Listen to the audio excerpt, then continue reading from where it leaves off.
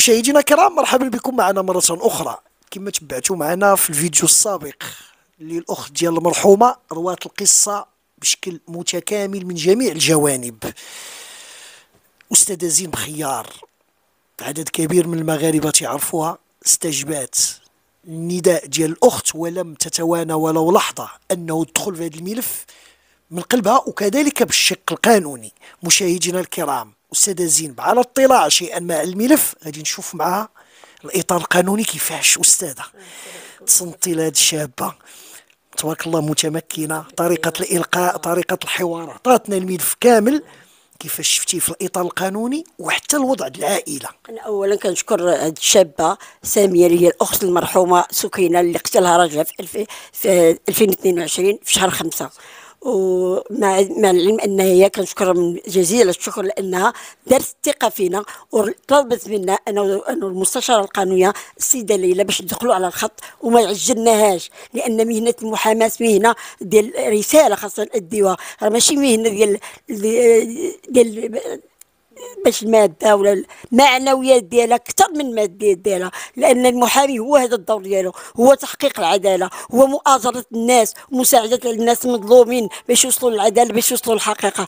لو كان نعزي من هذا المنبر الوالدة ديالها وكنعزي الاخ الإخوان ديالها كلهم اللي هما كانوا هما أربعة البنات وجوج ولاد من غير لأنه خمسة. المرحومه آه، سكينة. الله يتعب آه، بالجنة إن شاء الله لأنها راه ماتت مغدوره وخلات واحد الطفل الطفل اللي هو باقي عنده سنتين أشنو ذنب هذا الطفل دابا؟ أشنو ما فهمتش أنا. ذنب ديال هذا الطفل اللي الوالدة ديالو آه، توفات عن طريق قتل من طرف ابوه بغيت أنا الابن تو يتبع من الناحيه النفسانية لأن غتكون عنده شي شي غيكون عنده من الناحيه النفسانية تضرب شوية كنلتمس منه باش يديو على الأقل ال psychologue باش باش يتواكبوا معاه المعالجة النفسية. أنا كنشوف هنا أستاذة بغيت نشوف معك واحد الجانب مهم وتكملي لي الأمور القانونية. واحد الكلام قلته إن الأخت وقبل من التصوير في الكواليس سمعته أنه العائلة محافظة شابة متمكنة الله يرحمها عندها الإجازة وقارية عندها 30 سنة. هذا السيد من يجي عن طريق واحد من العائلة ديالو واحد السيدة من العائلة ديالو ما رفضاتش. الزواج رغم عامل السن اللي فيه 30 سنة د الفرق. هذا الشق الأول. ثانيا ما شافتوش ما تلاقاتش معاه ما قدراتش تاخذ واحد الفترة بأنه تعرف هذه الشخصية اللي غتربط مع اللي غتربط معها الحياة. شنو هو الجواب ديال المرحومة اللي كان اللي سمعت عند الأم؟ قالت لك قالت لي أنا بغيت أمي نمشي لأي حاجة اللي نقدر نعاونك بها. ثاني لا درت داري ولا عندي راجلي وهذا خلات القراية خلات كل شيء خلات فارق السن خلات جميع العوامل اللي مهمة في الحياة ديالها باش تساعد الأم. يعني كتهم رضا الوالدين بشكل كبير. يعني كيبان لي بأن هذا القاتل لي العائلة ديالي اللي شتي محافظة جدا. وأنتم كتعرفوا الناس اللي مربيين مزيان هما الناس ديال الصحراء بالأخص الداخله والعيون هذا. كنعرفوهم كي كيتعاملوا كي هما بسطاء في التفكير بسطاء في كل شيء. عطى نيتهم ناس نية معقولين اللي كيعرفوا غير المعقول. ملي جا عندهم هذا السيد راه ماشي جاء عن غباء. لأن قبل منه كيقولوا بأن مات الزوجة ديالو الأولى اللي كان مزوج بها 30 سنة واللي ماتت في الوطن. هو قال لهم بأنها ماتت كونسير هنا كاين واحد علامات الاستفهام واللي تزوج من بعدها جوج خطرات كانت السكينه هي الثالثة. اشي الاسباب لهاد العيالات كيفارقهم. ثانيا بأن هو اختار الضحية. حتى في الملف أستاذ هذا شيء جديد مهم في الموضوع. لأنه اختار الضحية. تعمد باش اختارها لأن الجارة ديالو هي بنت بنت اخته هي اللي جابته على أساس لأنه وصفات ليه البنت كي دايرة. عرفتها بأن بنت آه، ظريفة بزاف بأن عندها أخلاق عالية بانها مثقفة بأنه اختارها. ما اختارش شي وحدة اللي غادي تقدر تقدر يكون عندها شوية شخصية قوى منه هو باغي شي شي ضحية تكون اللي يضغط عليها اللي يعفط عليها.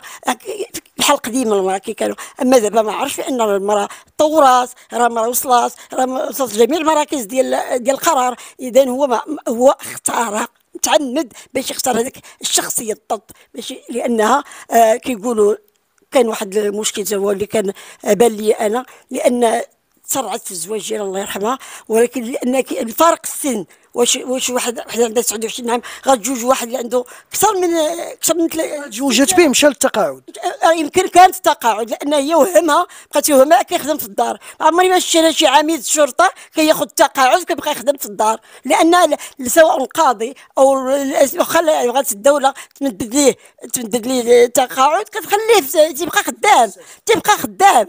واخا واخا يبلغ السن القانوني ماشي ماشي كيرجع في المؤسسه ماشي يخدم في الدار.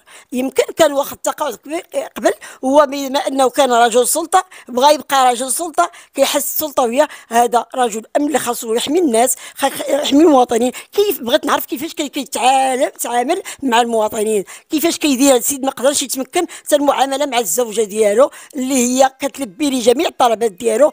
اذا هاد السيد راه بان لي طاغي وراه السلطة هي ملي كان ما عرفتش المرتبة اللي كان فيها ديال السلطه بقات يطلع يطلع كتعرفوا بزاف الناس مراد بالسلطة. كيبقاو يديروا السلطة في دارهم راه ما يمكنش. راه تبدل العصر. راه ولا عصر آخر. ما يمكنش الدريه يجيبها من الدار ديالهم. هي عندها 29 سنة ويجي يضغط عليها بحال يطبق على هذيك الفكرة اللي كانوا كيقولوا المرأة من دار الزوج ديالها القبر راه ما بقاش من الزوج ديال راه المراه ولات كت الراجل راه كت تضاهي في جميع المراحل.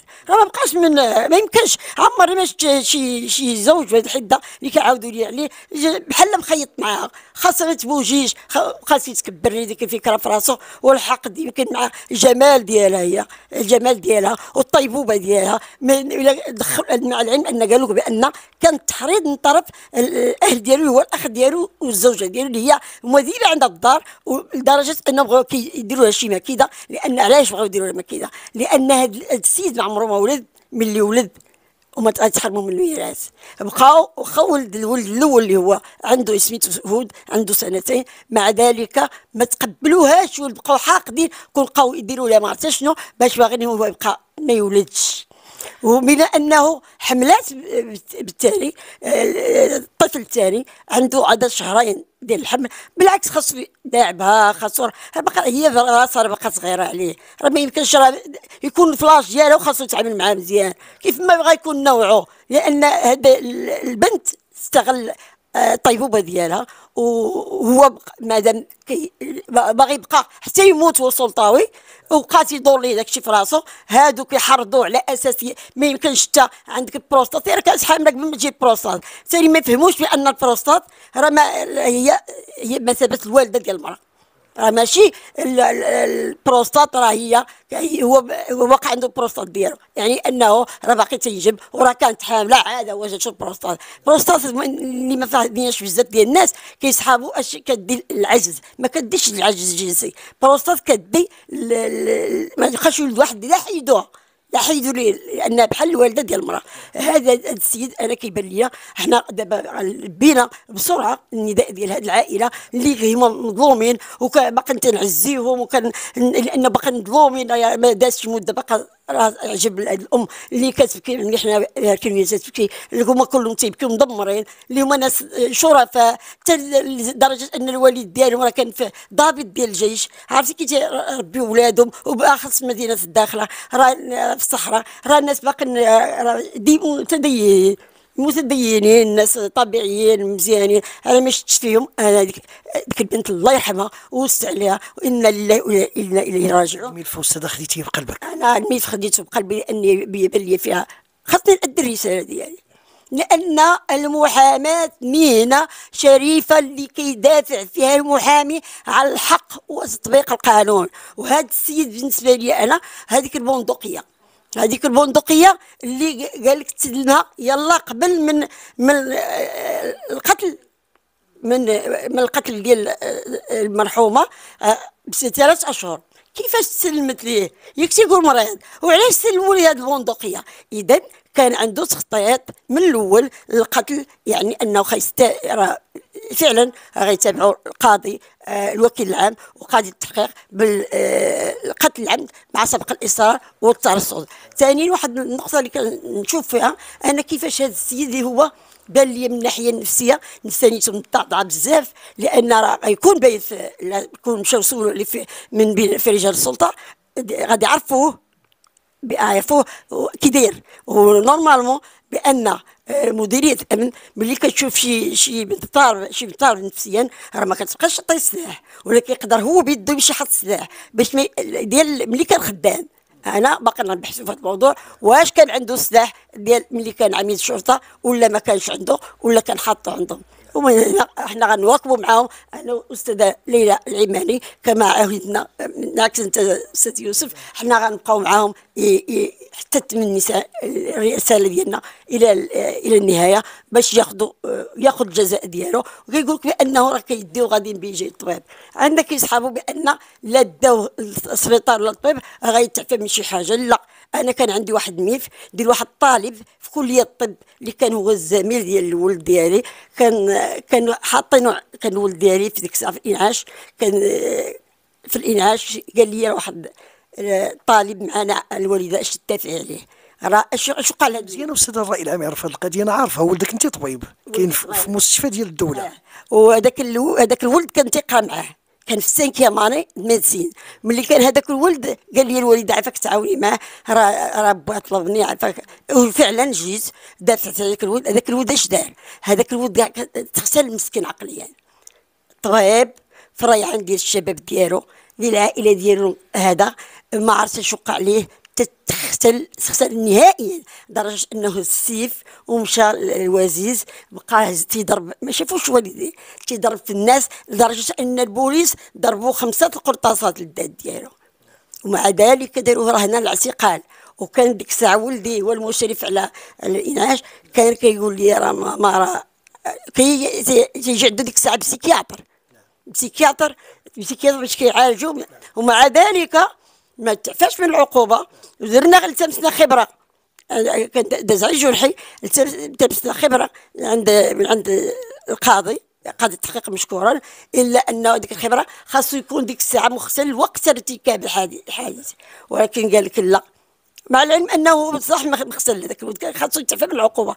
وهو مضروب خمسة قرطاسات ومع ذلك تحل الجلسة وتحكم ثلاث شهور حبس نافذه أستاذ الله يوفقك في هذه المهمة الصعبة. الحديث معك شيق رغم أن الوقت ضيق مشاهدينا الكرام. الله يفرج عليكم يا ربي وشي جميل ضخ دماء جديدة. الأستاذة معكم المستشارة ليلى كذلك تاهي غادي نتناولوا معنا في الموضوع. مشاهدينا الكرام كما تبعتوا معنا القصة عطتها لنا الأخت ديال سكينة.